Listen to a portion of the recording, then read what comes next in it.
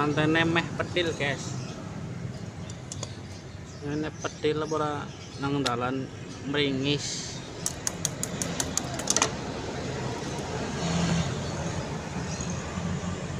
Wah.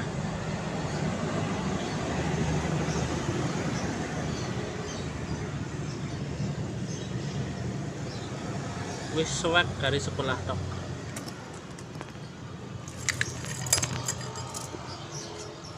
belete kandel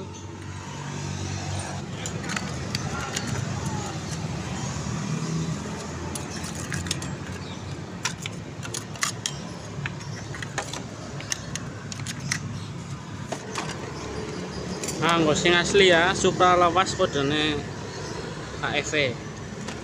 Nek Supra satu Selawe kodene KPH.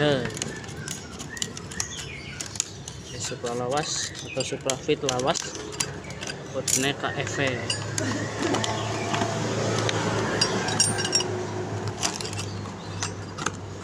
Tuh, yang paling geting pada kayak aja. Pada dibuka angel, ora bisa tinggal maning. Harpe 15 burine patang puluh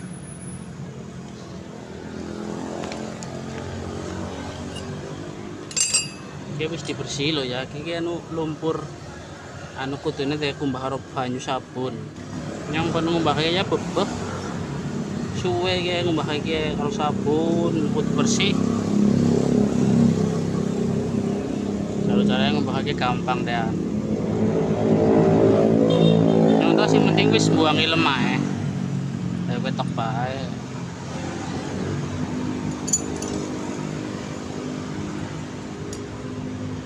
lepok nak gigi tadi cara mutar-mutar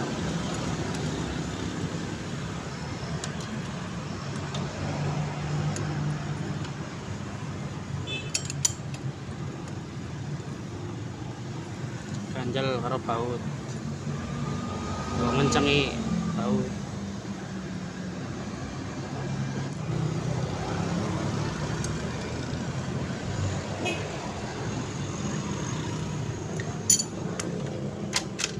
wis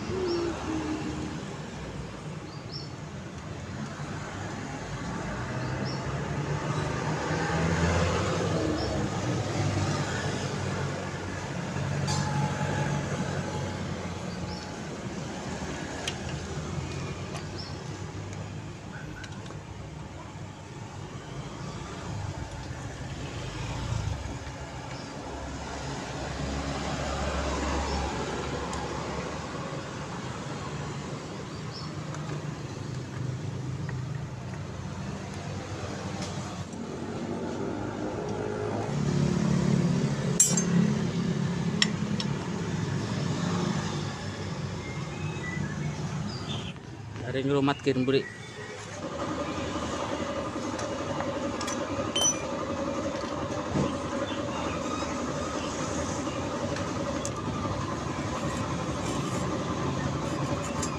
ini sama ya 40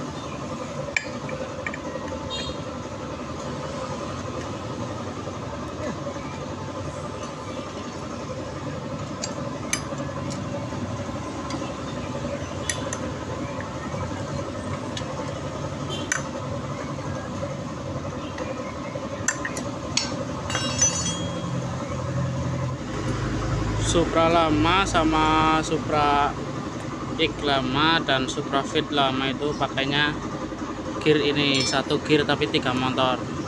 Juga di Astrea Grand juga dan juga Honda Win. Modelnya kayak gini ada nutnya di sini nih. Nih kalau Supra lama atau Grand atau Honda Win atau Supra Fit lama kayak gini. Ada nutnya begini kalau misalnya kalian punya gear kayak gini ukurannya 36 berarti punya Astrea Grand. Kalau ukurannya dilihat 40 berarti punya Supra. Kalau 41 berarti Honda Win. Kalau untuk yang Revo lama Supra X125 Karisma atau Supra Fitnya itu sudah beda ya. Itu nggak bisa pakai gear motor ini karena lubangnya pun beda profil ininya juga beda sama lubangnya beda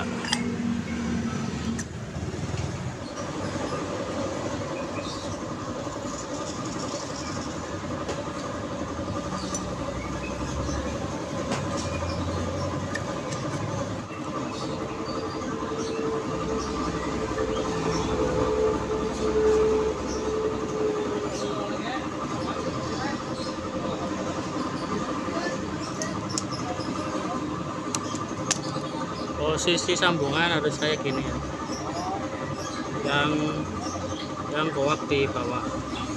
Yang ini yang nyambung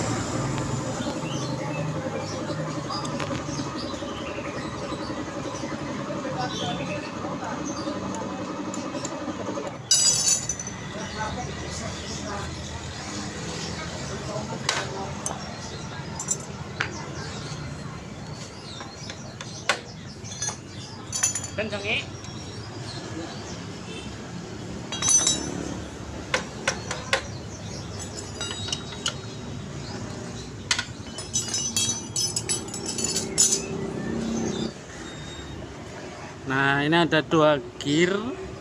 Punya punya ne Supra juga sama-sama punya Supra. Tapi Supra lama sama Supra i125 ya. Begini. Kalau Supra lama atau Supra X ini ukurannya 40 kemudian di sininya natnya kayak gini. Dan ini kalau misalnya dipasang di Supra X125 itu tidak masuk. Nih lubangnya kita masukkan ya.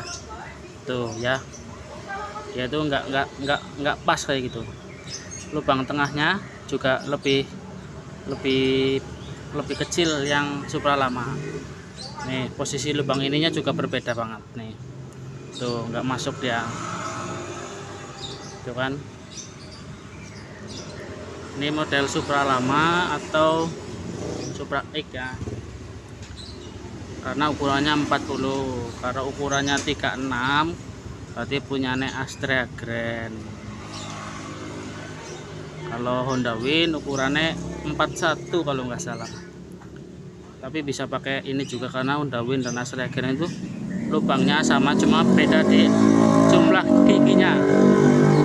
Kemudian kita masuk ke gear ini ya. Modelnya sudah jelas berbeda tuh ya nggak usah lihat ukurannya dulu lihat modelnya aja dulu sudah berbeda. Ini mulai dari Honda tahun 2006 Honda bebek loh ya. Honda bebek mulai tahun 2006 sampai Honda bebek tahun ini masih menggunakan gear seperti ini. Yang dimaksud seperti ini adalah lubangnya Supra Fit New pakainya ini. Ukurannya 36 kalau Supra Fit New ukurannya 36 ya. Supra Fit New dan Revo Revo lama. Supra Fit New dan Revo lama itu sama gearnya sama kodenya pun sama. Yaitu gearnya 36 kodenya apa yo KTL apa yo pokoknya ukurannya 36 itu Revo lama dan Supra Fit New. Kemudian itu kan 2006 2007 kemudian 2008 keluar. Pokoknya selanjutnya Karisma. Karisma 35 lubangnya sama. Cuma beda 35 sama ininya lebih tipis. Kalau Karisma kan 420 kalau Supra New itu 428 lebih tebal dan Supra X125 juga sama persis kayak punya Nekarisma ukurannya 35 kemudian keluar lagi Honda Revo Absolute. Revo Absolute tebalnya sama persis dengan ini ukuran 420 tapi jumlah giginya ini 37 jadi 35 ini Supra 125 dan Karisma kemudian 36 itu Supra Fit New dan juga Revo lama. Kemudian 37 itu Revo Absolute Honda Blade dan apalagi yo? Kayaknya udah itu tok. Kemudian 38 itu tidak ada ya. Kalau kita yang yang sering kita pasang itu 38 itu gear modifikasi. Gear modifikasi jadi bukan memang standarnya bukan dari Honda. Kalau kamu nyari yang standar ukuran 38 ya nggak ada nggak bakal nemu. Karena itu bukan gear bawaan dari ukuran dari Honda ya. Itu gear modifikasi. Biasanya di lusnya itu tertulis modifikasi kayak gitu. Kemudian keluar itu ukuran mm, 41 41 eh 39 39 itu Supra X 125 yang injeksi. Supra X 125 yang injeksi itu ukurannya 39 kalau Revo Absolute dan Honda Blade baik yang injeksi mau yang maupun yang karbu itu masih pakai 37 tapi kalau misalnya dipasang di Supra X 125 bisa. Karena lubang ininya sama lubang sininya juga sama ukurannya 37 jadi di tanjakan itu lebih enak. Lah untuk penggantian gear yang lebih besar saya cuma merekomendasikan untuk Supra X125 yang tipe kabulator dan juga karisma ya. Karena pada motor jenis KPH atau Supra X125 yang lama atau yang karburator itu memang mesin itu tidak mempunyai torsi ya jadi mesin itu memang sangat lembek di tanjakan khusus mesin itu. Jadi kalau misalnya motor selain itu saya tidak merekomendasikan ukuran gear yang lebih besar atau yang lebih kecil. Karena kalau menurut saya sih motor-motor selain Super X25 dan Karisma itu sudah enak semua. Tarikan bawah tarikan atas itu sudah enak Nah, sedangkan kalau untuk Supra X125 yang karbu atau yang karisma itu kan memang tarikan bawahnya itu enggak ada tenaganya.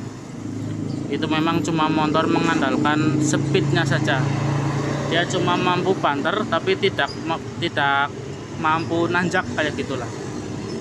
Sehingga sangat direkomendasikan untuk ganti gear ukuran 38 atau 37 ya sekali lagi sesuai selera ya. Ada yang pakai 36 udah cukup ada yang pakai 37 sudah cukup. Ada juga yang baru cukup enak di 38 malah kadang ada yang 40 baru merasakan yang namanya kenyamanan. Jadi sesuai selera saja. Untuk motor-motor lain itu saya tidak merekomendasikan ganti gear. Karena memang tarikan bawah dan atas sudah enak. Cuma motor di Supra X25 dan Karisma saja yang karburator ya bukan yang injeksi. Kalau yang injeksi itu menurut saya sudah enak sudah enak atas bawah. Tapi kalau nek punya nek supaya satu dua yang karbu itu memang sangat tidak ada tenaganya terutama pas nanjak. Dia cuma ngandalkan torsi untuk gear depan seluruh Honda apa namanya seluruh Honda bebek itu lubangnya sama baik lubang as ataupun lubang bautnya itu semua sama. Hanya saja kadang berbeda di jumlah gigi dan ketebalan.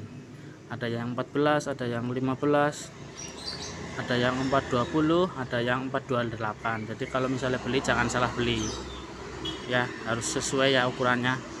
Kalau misalnya jumlahnya sih nggak penting. Yang penting itu 428 dan 420 nya itu harus benar-benar sama dengan tipe rantai yang dipakai dan gear belakangnya kalau untuk rantai sih tinggal tinggal menyesuaikan panjangnya saja ya. Jadi kelar ya masalah untuk gear depan semua lubangnya sama. Cuma beda di ketebalan dan jumlah gigi. Kemudian gear belakang. Ini mulai dari Honda Bebek tahun 2006 sampai sekarang.